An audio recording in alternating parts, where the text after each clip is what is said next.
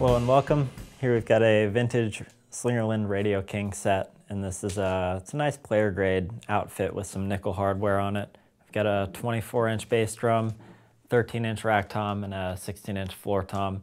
And the bass drum and the floor tom both have some extra holes in them. There's also some unoriginal black lacquer hoops on the bass drum. They look nice.